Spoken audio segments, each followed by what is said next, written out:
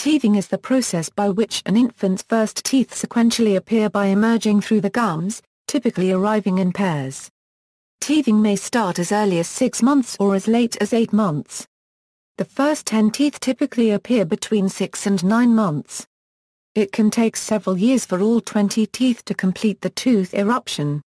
Though the process of teething is sometimes referred to as cutting teeth, when teeth emerge through the gums they do not cut through the flesh.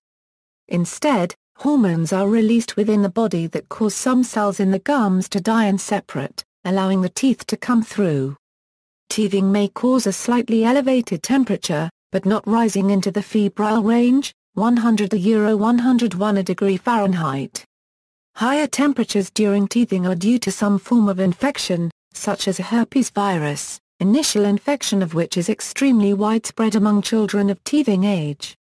History Teething used to be considered a cause of death, as many children died in the first years of life, at the same time as a teething occurs. The tendency in the past to attribute serious disease to teething was so prevalent that in 1842 teething was the registered cause of death in 4.8% of all infants who died in London under the age of one year and 7.3% of those between the ages of one to three years according to the Registrar General's report. Ironically, while teething is a natural process which creates little more than discomfort, some methods for relieving teething pain have caused serious harm and even death. Old remedies for teething include blistering, bleeding, placing leeches on the gums, and applying cautery to the back of the head. In the 16th century the French surgeon Ambroise Paré copyright introduced the lancing of gums using a lancet, in the belief that teeth were failing to emerge from the gums due to lack of a pathway, and that this failure was a cause of death. This belief and practice persisted for centuries, with some exceptions, until towards the end of the 19th century lancing became increasingly controversial and was then abandoned, although as late as 1938 an Anglo-American dental textbook advised in favor of lancing, and described the procedure. In the first half of the 20th century, teething powders in the English-speaking world often contain calomel, a form of mercury. It was removed from most powders in 1954 when it was shown to cause pink disease, a form of mercury poisoning. Teething toys have a long history. In England in the 17th and Euro 19th centuries, a coral-mentor teething toy made of coral, ivory, or bone, often mounted in silver as the handle of a rattle. A museum curator has suggested that these substances were used as sympathetic magic, and that the animal bone could symbolize animal strength to help the child cope with pain. Sequence of appearance The infant teeth tend to emerge in pairs, First one lower incisor emerges then the other lower incisor emerges before the next set begin to emerge. The general pattern of emergence is, lower central incisors at approximately 6 months, upper central incisors at approximately 8 months, upper lateral incisors at approximately 10 months, lower lateral incisors at approximately 10 months, first molars at approximately 14 months, canines at approximately 18 months, second molars at approximately 2 a euro 3 years, milk teeth tend to emerge sooner in females than in males. The exact pattern and initial starting times of teething appear to be hereditary. When and how teeth appear in an infant has no bearing on the health of the child. Symptoms The level of pain that a baby can handle will be different for each child. Some may be a lot fussier than others while they are teething. The soreness and swelling of the gums before a tooth comes through is the cause for the pain and fussiness a baby experiences during this change. These symptoms usually begin about 3 to 5 days before the tooth shows, and they disappear as soon as the tooth breaks the skin. Some babies are not even bothered by teething. Common symptoms include drooling or dribbling, mood changes, irritability or crankiness, and swollen gums. Crying, sleeplessness, restless sleep at night, and mild fever are also associated with teething. Teething can begin as early as three months and continue until a child's third birthday. In rare cases, an area can be filled with fluid and appears oval where a tooth is erupting and cause the gums to be even more sensitive.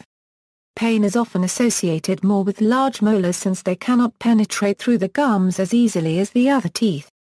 Some noticeable symptoms that a baby has entered the teething stage include chewing on their fingers or toys to help relieve pressure on their gums. Babies might also refuse to eat or drink due to the pain. Symptoms will generally fade on their own, but a doctor should be notified if they worsen or are persistent. Teething may cause signs and symptoms in the mouth and gums, but does not cause problems elsewhere in the body. Pulling on the ears is another sign of pain. The pain in the mouth throbs throughout the baby's head so they pull their ears believing that it will provide relief. Mild rash can develop around the mouth due to skin irritation that is caused by excessive drooling or dribbling. Equals misdiagnosis as teething equals, teething has not been shown to cause fever or diarrhea. However the belief that teething causes fever is extremely common among parents. Whilst there is some evidence that teething can cause an elevated temperature, it does not cause fever. One small 1992 study found a significant rise in temperature on the day of eruption of the first tooth. Another study in 2000 found mild temperature elevation, but not fever over 102 a degree Fahrenheit. There is a risk that fever around the age of teething is dismissed as due to teething when it is actually due to illness, particularly infection by herpes viruses. Coincidentally, primary tooth eruption begins at about the time that infants are losing maternal antibody protection against the herpes virus. Also, reports on teething difficulties have recorded symptoms which are remarkably consistent with primary oral herpetic infections such as fever, irritability, sleeplessness, and difficulty with eating. Younger infants with higher residual levels of antibodies would experience milder infections and these would be more likely to go unrecognized or be dismissed as a teething difficulty. Herpes virus infection may take the form of primary herpetic gingivostomatitis or of infection by human herpes virus 6, which infects 90% of children by age 2. The symptoms of elevated temperature and facial rash could be explainable by infection with the HHV6 agent, which is ubiquitous among infants of teething age. Other viruses may also cause fevers which may be misattributed to teething, but the oral involvement that may occur with herpes viruses makes misdiagnosis a particular risk for such infections. Treatment Before treating a baby for teething, it is important to know what is causing the baby to be upset. Rubbing a finger gently along the gums in search for swollen ridges or the feel of a tooth below the gums is one way to be certain. If unsure, it is recommended that the child be seen by a pediatrician before treatment is administered. A teething ring is generally a soft plastic device that can be chewed on and allows the baby to break down some of the gum tissue which promotes the growth of the teeth out of the gum. Some teething rings can easily be broken or damaged, so other types of teething devices can be made from household items. Placing a wet washcloth in the freezer for a few minutes and then applying it gently to the gums can be effective but care must be taken not to expose a baby's gums to coldness for too long. Infants chew on objects to aid in the teething process. This can be dangerous if the baby is allowed to chew on objects which are small enough to be swallowed or which could break while being chewed and cause choking. Teething rings and other toys, called teethers, are often designed with textures that will appeal to an infant during teething drawing water into a pacifier and freezing it as another way to offer a teething child relief.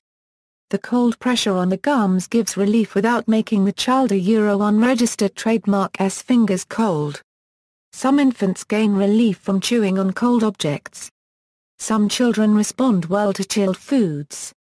Suggestions for chilled foods that might appeal to a baby include apple sauce, yogurt, and pureed fruits. Dentists recommend brushing infants' teeth as soon as they appear. It is not advisable to wait for the teething process to be complete. Dentists may recommend against the use of fluoride toothpaste during teething. Equals medication equals, in cases where the infant is in obvious pain, some doctors recommend the use of non-steroidal anti-inflammatory drugs or child-safe pain relief treatments containing benzocaine, lidocaine, or choline salicylate. Benzocaine must be used cautiously because it can cause methemoglobinemia.